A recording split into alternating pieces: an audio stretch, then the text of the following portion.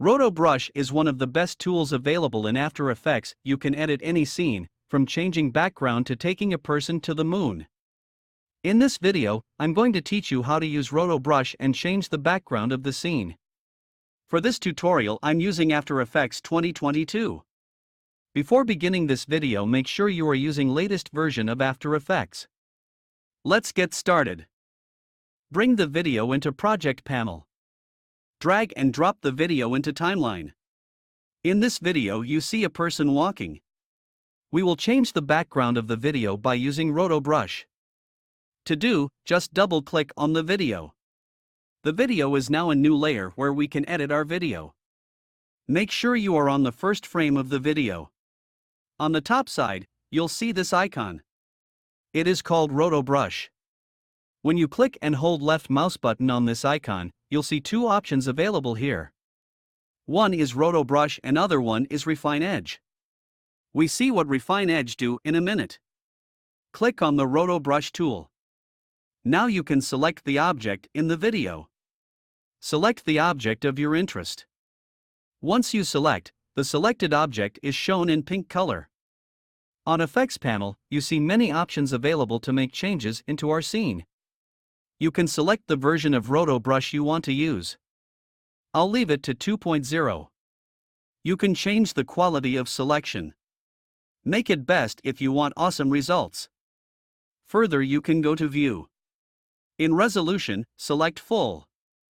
But make sure you are using high-end graphic card as application may crash.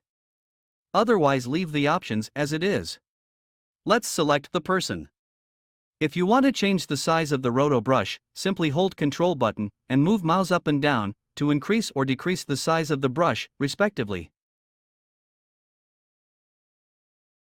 And if you want to remove the selection then hold the Alt button. You'll see the green brush turns to red. This indicates you can remove the selection on the video. After selecting the object of your interest on video, you can further make some adjustments to your selection. Feather is for smoothing the selection. Contrast helps to separating the object of interest to the rest of the scene. Shift edge, contract, or expand from your selection. Reduce chatter will helpful to track the object when it is moving quickly in the scene. Experiment with these options on your scene for better understand. Now it's time to see what Refine Edge tool will do. Refine Edge tool is used to select those object which Roto Brush can't select precisely. For example, hair, feather etc. In this case the person's hair is not correctly defined by Roto Brush. So we will use our Refine Edge tool to select the hair. To do so simply click on the area where the hair is present. After selecting your area of interest, now you press spacebar. The scene is process. You see each and every frame attracts the object you selected. If you see any frame where the selected object is out of your selection, then simple stop at that frame and make corrections. This will take time, but the final result will be amazing. Once you satisfied with your scene, click on the freeze button.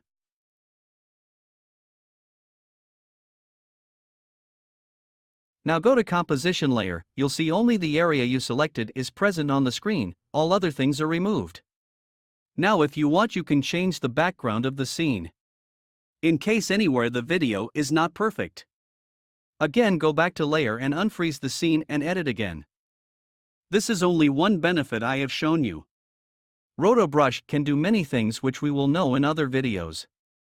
If you missed any steps, watch the video again. Hope you find this video useful. If so please hit the like button. Subscribe the channel. And also comment down if you need further assist. Till then take care. See you in the next video.